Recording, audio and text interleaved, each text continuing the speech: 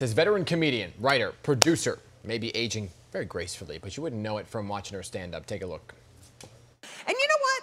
They never let you forget how old you are. Ne like, all right, example, the other day, I go on the computer to buy a plane ticket, right? And then they're like, please enter your birth year. I must have scrolled for like 25 minutes, like, oh my God, where has the time gone? I've done nothing with my life. Joining us from Rhode Island, please welcome Judy Gold, the very young and talented yes. Judy Gold, we may say. very young. Very young. okay, so you're in Providence I, now. What? Uh, no, I'm in Provincetown. Provincetown. Provincetown. Thank you for that correction. Oh, there we go. Mm -hmm. Ah, we did not know that. Hey, so what's it like doing comedy right now with all this social dis distancing?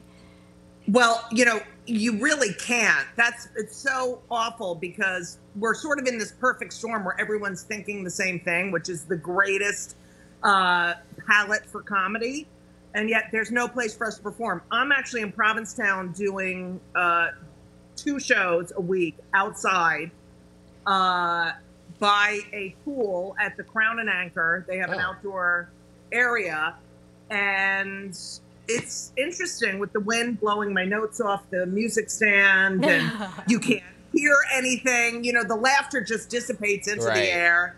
So yeah, because you feed up the laughter. Right. So, but I did. Uh, in June, I performed at a drive-in movie theater in Queens oh. on the back flatbed truck and the audio was going into people's cars and they would laugh by flashing their lights. So that's amazing. That's amazing. This is the new normal, Judy. Uh, Welcome yeah. to reality. What kind of jokes do you lean on in a time like this, you yeah. know? Well, you know, there are people you can't, you know, who will say you can't joke about COVID, but you know, my writing jokes about what it's like to be living through a pandemic isn't necessarily about COVID in particular, but it's also, there are things, I mean, look, we're in this terrible situation. Laughter is the best medicine. It is healing. It is uniting. Mm-hmm. So if I, you know, if I do a joke that my car is getting four months to the gallon, you know, that doesn't make the pandemic worse, you right, know? Right. So you know, we have to stop taking ourselves so seriously. Hey, you have a new book out that says titled, and which you say as well. Yes, I can say that. Where you oh, feel oh, comedy is being censored more and more, and, and in your view, that is a dangerous thing. Why is that? Absolutely. You know, comedy and satire are so much a part of our society, and comedians are social commentators and we're truth tellers, you know? And when we stop laughing and start saying, you know, this cannot be said, I'm offended, so I want to shut you down. No, you know, being offended in a way is a choice. Because when you have a comedian that you don't like, you don't like their bit, then you can change the channel. You don't have to watch them, mm-hmm. you can turn off the radio but don't shut them down because they did a joke that you don't like. It's mm. it's wrong. And comedy is so American. I mean, we learn, we educate. It's a weapon, but it's an educational weapon.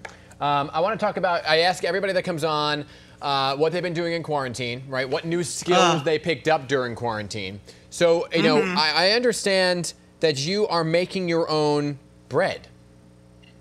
Challah. Oh. I am making my own challah. Can you say that? Oh my God, I can't believe it. Yes.